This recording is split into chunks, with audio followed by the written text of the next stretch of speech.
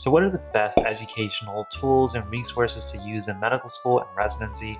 I want to get to those in this video. Let's get to it. All right, guys, what is going on? Welcome to another episode in the TMJ show and the MD journey. We're here. We're all about helping people just like you succeed on their medical journey with less stress. My name is Laksh. I'm currently an internal medicine resident making videos, blog posts, podcasts, you name it, for the last three years to help individuals just like you. So if you are new to this channel, if you are new to this community, go ahead and definitely consider subscribing, following us on podcasts. If you're watching this on YouTube, and hitting that subscribe button and that notification bell. And after this video, if you enjoy the content, then also consider hitting that like button.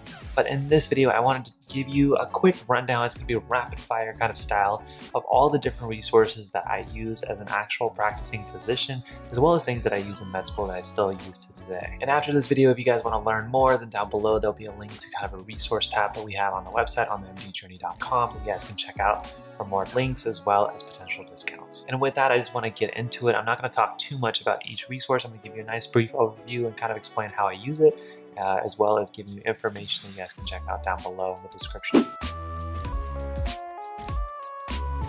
So let's start with one of my favorite resources. It's kind of an umbrella resource that has a lot of underlining uh, amazing resources within it and that is through the New England Journal of Medicine. Now, I'm obviously a physician in internal medicine, so there's a lot of content that is pertinent to me, but also to other specialties, including pediatrics, OB-GYN. So one of the things that I love using are the actual physical journals. I usually have one sitting on my desk, and I usually will put a mark next to important articles, usually the review article, as well as an interesting case for the week that I like to read.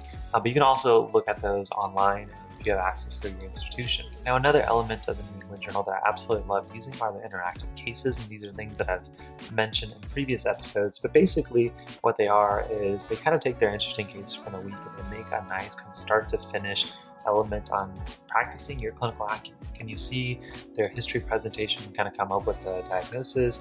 Um, can you try to see what kind of forms of treatment you would give the patient? And it kind of walks you through how to consider and evaluate such a patient with the condition. Definitely check out these interactive cases, especially if you have institutional access to your med school or your residency program to be able to kind of give yourself a little bit of practice and they only take like 10 minutes. Next up on my list, and this is also because I'm interested in cardiology and internal medicine, um, is EKG Wave Maven. So this is made by a sister institution of Harvard Medical School. Um, and basically you have these amazing kind of case-based EKGs um, that will test you on kind of ABC multiple choice. But then the beauty is that they'll walk you through everything that was wrong with an EKG. So not only is it, you know, what the heart rate is or what the one abnormality is, but you can tell what's going on in every single EKG lead gives you a little bit of practice doing pattern recognition. This way you can get better at EKGs in the long run. And speaking of EKGs, and this is going on to resource number three, and is one that I used when I was a med student, is the Life in the Fast Lane blog. And this was originally designed for emergency medical physicians as well as clinical care doctors, um, but it's really so useful for essentially everybody. Um, the EKG sections are really what I consider to be the best ones. They'll walk you through every kind of element of an EKG. So like here we're talking about atrial fibrillation. I'll tell you kind of what the reasons, the causes, and what's going on, as well as give you examples EKG strips um, that will be consistent with somebody with AFib. So if you're trying to learn your basic EKGs, or if you're interested in going into emergency medicine and you want to learn other things like toxicology and ultrasound, definitely check out Life in the Fast Lane. Now, one thing that I love using and that students and physicians love as well is a resource known as UpToDate. Most of you guys probably know it, so I'm not going to belabor the point, but it's essentially a Wikipedia for everything medically related. And it's a great resource to use if you quickly need to look up something like the dose of a medication or the types of treatments as we should be able to use for a specific type of diagnosis, but it is also something that I like to read kind of from start to finish. For example, I was recently teaching my medical students on one of my rotations about renal tubular acidosis, and it's been a while since I've learned it myself. And so it's something that I went in, just quickly refreshed myself and skimmed, and then created my own diagnostic schema that I previously didn't have. So if you're using UpToDate, amazing. To see if you can start creating a list of things you don't know, and then quickly look up a few of them and just read the UpToDate section on them to see if you can become more advanced in your medical knowledge about those particular topics. So next up, we'll talk about a few resources that I love recommending to med students, and one of them is a resource that kind of came to my attention uh, late last year, and this is a resource called Physeo, which basically creates a lot of video content as well as question banks that comes with the videos um, at the very end, flashcards, audio, just a lot of different resources on anything you learn throughout your first and second year of med school.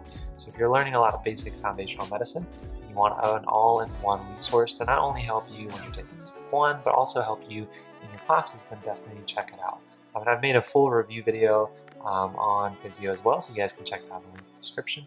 If it is something you guys are interested in after watching that review video um, or checking the link out, then definitely um, consider getting the 15% discount, which will also link down below. There'll be a code for you guys to check. A resource that's very similar and close to my heart that I used a lot at medical school is Online MedEd. And specifically one resource that I've been using more often than now I'm in residency is a resource called CaseX, which basically will take you from start to finish of a diagnosis and helps you kind of understand how to be a doctor outside of the multiple choice um, examples that we given when we are med students. And similar to previous resources, everything will be linked down below in the description, including a link to CaseX. Now, one resource that I really used a lot in medical school because I am a big visual learner is Picmonic. So one thing I loved about Picmonic, and I've also made a video about this before too, that the videos are very short, they're entertaining, the images are goofy enough that I can remember important concepts, um, and I'm not having to sit through 20 to 30 minutes of a video to learn a concept like bacterial endocarditis. The nice thing about Picmonic is you can also create playlists, so as you're going through a class, you can start to add the videos as you're learning the topics and reading about them in class. So If you're on your hematology block, you can start to add the variety of cancers and malignancies and anemias and blood disorders that you'll be learning about. So it's a nice way to review yourself. It also comes with quizzes and a bunch of other resources that are super useful. And again, if you guys are interested, there'll be a discount link down below. Now, the last few things on this rapid fire clinical resource video are basically apps and podcasts that I listen to, usually on the way into work, and I use them throughout the day. Um, and one of them that I've started using recently is called the Human DX Project, um, and it's basically an amazing, amazing app where different physicians around the country, around the world, are presenting cases and what we consider aliquots. So they're giving you little pieces of information about a patient, their presentation, then they're asking you, using that information, what would be your differential diagnosis? What do you consider? Um, and then when you're ready, you can click for the next piece of information, like their vitals, the next piece of information, like their labs. And each kind of part of the journey, you're kind of challenged to see, can you get to the diagnosis quicker using the information you already have? At the very end, obviously, they'll reveal it as well as give them some teaching points and clinical pearls, and you can then take with you. So it's an amazing resource to be able to use real life cases to learn some true medicine.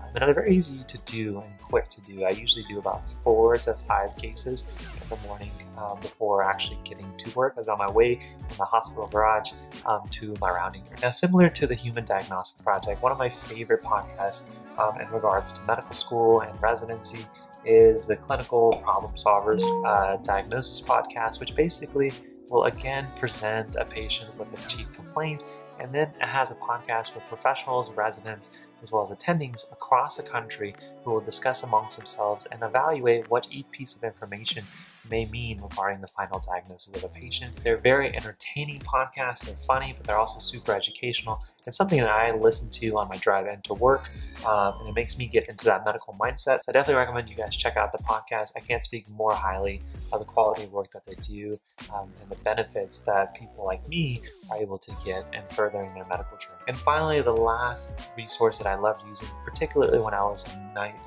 rotation, but this is also something you can use when you're a clinical student on rotations and there's just a lot of things you don't know, as well as when you're a resident and you're covering different patients or you're doing uh, a night coverage, is an app called MD On Call. It's basically kind of um, an on-the-phone Wikipedia system where you can quickly type in diagnosis as well as chief complaints, and then it'll give you a nice brief overview of what type of things to think about, what labs to order, what treatments to offer. Um, it's just a nice way of kind of having something to go back on if you're confused or not sure what to do. But that, guys, is a roundup of the different clinical resources I've been using in both medical school and now in residency. And I really use all of these to some extent on a weekly basis and some even on a daily basis multiple times a day.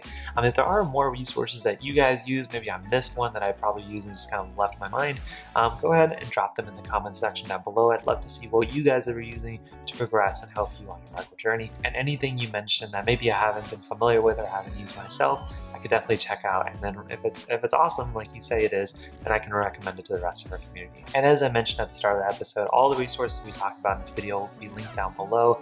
Uh, but if you do also want more resources that are similar, or if you want to check out potential discounts for some of our resources that we do recommend, then check out the link for the mdjourney.com and it'll take you to a recommended tools page as well.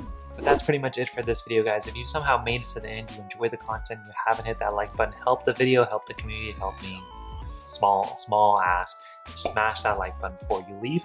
And again, if you're new to the community and you're considering subscribing but you haven't hit that button, give us a shot. Go ahead and hit that subscribe button, hit that notification bell. I'm trying to put out videos for you on twice a week basis to give you content just like that. Thank you guys so much for tuning in, watching on YouTube, listening on the podcast.